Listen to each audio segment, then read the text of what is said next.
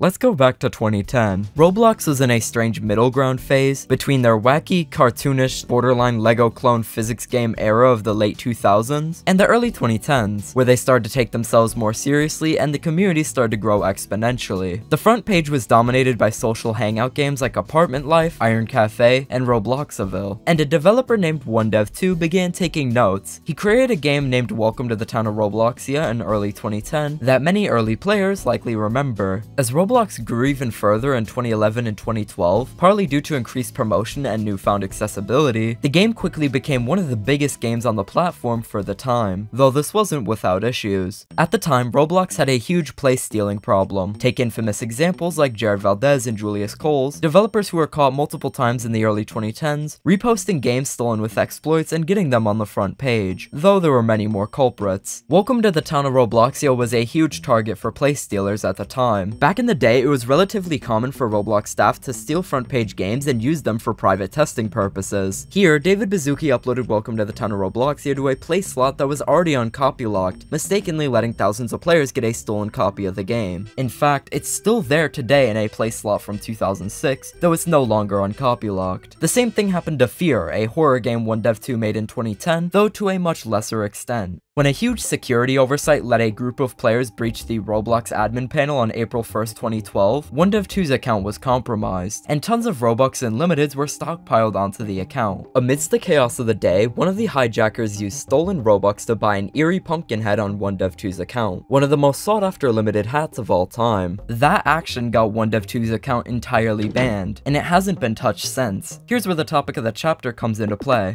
In November 2011, just months before his account was hacked, 1dev2 released a game called Crash. The premise was simple, spawn vehicles and watch them explode into tons of pieces as you ride them off cliffs, out of the windows of parking garages, and into towers rigged with dynamite. The game was reminiscent of a simpler time in Roblox's history, because at one point, extremely straightforward games like this were commonplace on the front page. In February 2012, the game was made private, and all that's left of it now is a collection of exceptionally obscure, low-quality recordings taken with Roblox's built-in screen recorder. Some of these quite literally had zero views when I found them despite being over 12 years old. Five months after 1dev2 was banned from Roblox, he uploaded a montage of recordings he took while playing Crash to YouTube. The description says, This was one of my games called Crash. It was so fun, but it's gone. Implying that he no longer had the game saved on his computer and couldn't re-upload it to his new account, meaning he couldn't do anything about the game being locked away on his old deleted account. So that's one option down. Unfortunately, there's a minuscule chance that this game was stolen while it was open, as strange as me saying that may sound, because if a stolen copy resurfaced nowadays, it would be the only way to play this game at all. Not only did Crash only have 2,000 visits, despite 1dev2 creating a game that was once literally the most played Roblox game ever, but it was originally restricted to those who had Builders Club memberships, because yes, that was a feature back in 2011. As a result, most people didn't get to play it when it was first released, and there was only so much time between 1dev2 opening it up to all players and 1dev2 closing it. To put this in modern Roblox Roblox terms, imagine if the creator of Brookhaven had a place open for 6 months, it only got 4 visits, and was closed, never to be seen again. That's basically what happened here. Crash is just one of many examples of an obscure Roblox game that has seemingly vanished from the platform, with no one to re-upload copies and every option for trying to find the game completely exhausted.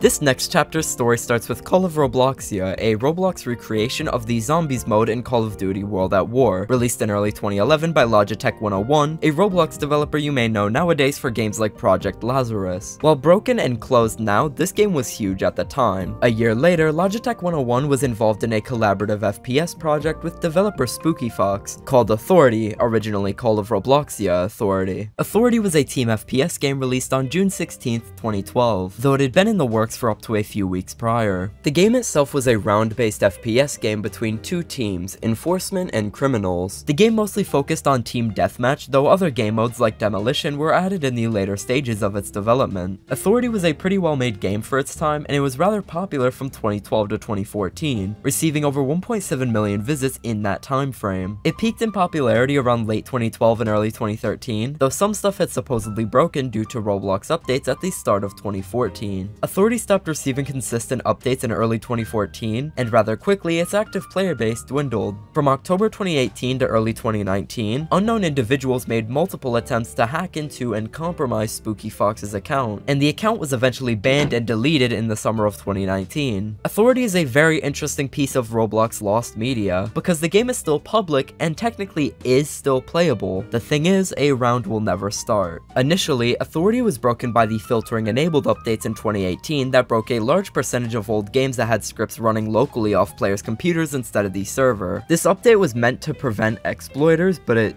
kinda backfired. However, even if Authority was played inside an earlier version of Roblox that wasn't affected by these updates, the game would still be broken, because all of the assets themselves, such as guns and maps, are now lost to time. Instead of storing guns, maps, and other assets inside the game itself, they were all stored as off-sale models on the now terminated Spooky Fox Roblox account, and grabbed by the game via insert service. Insert service requests would only work with off-sale models if the requests were coming from a game owned by the owner of said model, but because these models are off sale on a now terminated account, they're essentially gone for good. When I asked Logitech 101 about the matter, he said he only had the base RBXL, which wouldn't be very helpful here considering it has none of the guns or maps. Out of all of the authority related assets that were held on Spooky Fox's account, only one map, Hempton Evacuation by George256 added in May 2013, was accidentally left on sale, and as a result this is the only available asset from the game. This story doesn't have that bad of an ending though, because this year year, one of the developers at Rolf published a game called Enforcement, which is currently in beta testing and was heavily inspired by the original Authority from 2012. It's a fast-paced, team-based FPS game with a very similar premise, though with more game modes and unique maps. The original version of Authority, for the most part, is still considered lost media.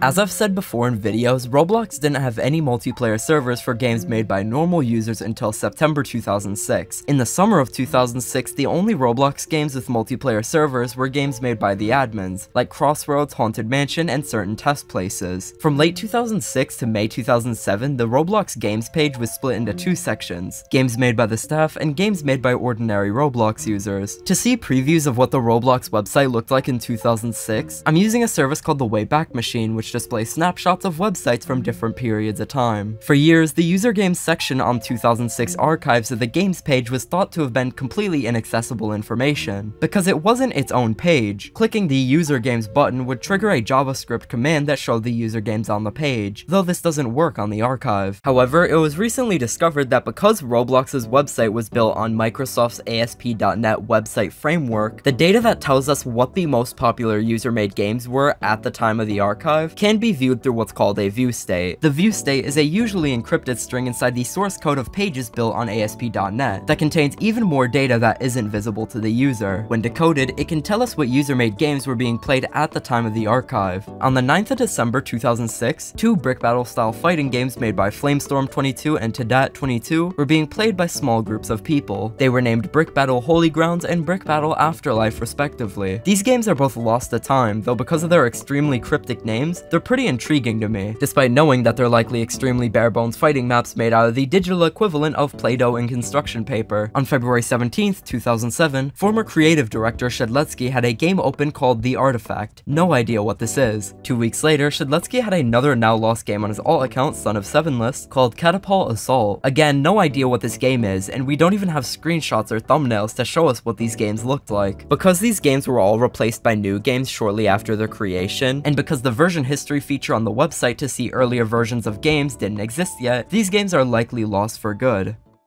Before I round off this video, I want to take some time to talk about the pieces of Roblox Lost Media that while interesting, I wasn't able to dedicate a whole chapter to. In 2008, Minish was known for being a talented developer who made builds that were intricate and detailed for the time, such as Kranos, Aldaker, and Shrine of the Fallen Hero. But for a brief period in late 2008 and early 2009, she made tons of one-off clickbait games to get Robux fast. This idea must have worked really well considering the pizza topping one received over 11,500 visits in the first two days days, which was impressive for the time. These games only lasted on her profile for about a week, and all that remains of any of them is a small array of screenshots that were used as thumbnails. Considering Minish left the Roblox community entirely after she was IP banned in 2009, these games are likely gone for good. On the 25th of April 2007, Shedletsky temporarily opened a game called Roblox Photo Ops on his account, and held a small photo shoot for a promotional post on an online forum called devmaster.net. This was the resulting photo, and the Photo Ops game was closed just hours later. The game itself is a modified version of Grey City, another game that Shedletsky made and uploaded to an alt account in 2006, modified to contain billboards, detailed trees, different weapons, and a different color scheme. This version of Grey City is lost to time.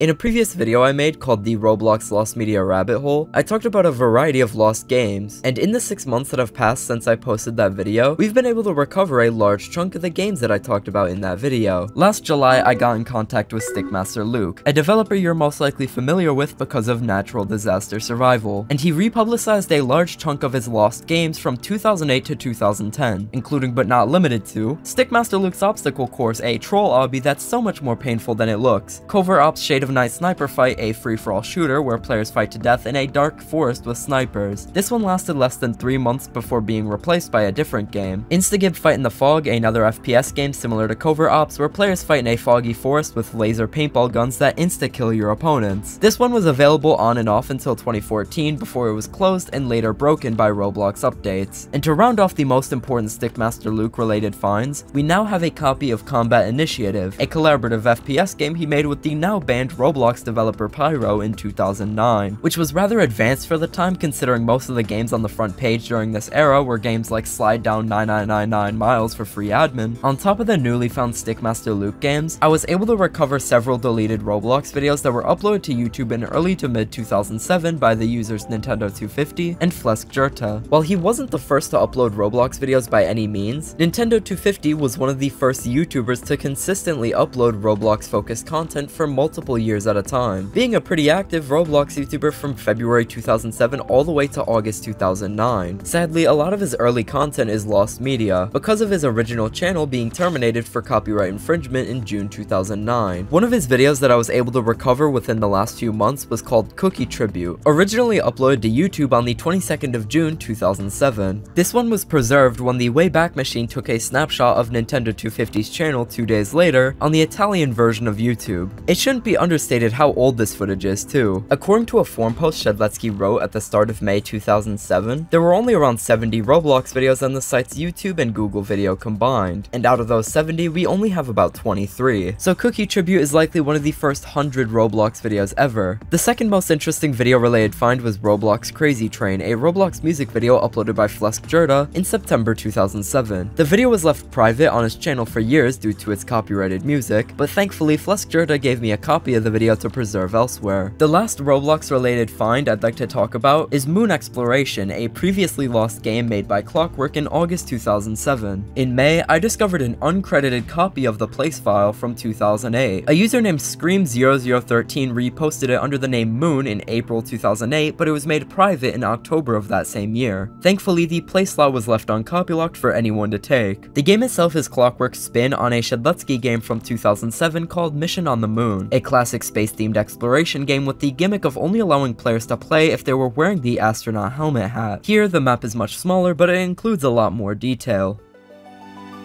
If any games I mentioned in this video are somehow found, posts about it will be made on my community tab and my Twitter account. As well, I started an extra channel for re-uploading lost deleted videos I find, including the videos that I talked about earlier in this chapter. Thank you for watching and if you enjoyed this video, do things you do after you finished a video you enjoyed and I'll see you in the next one.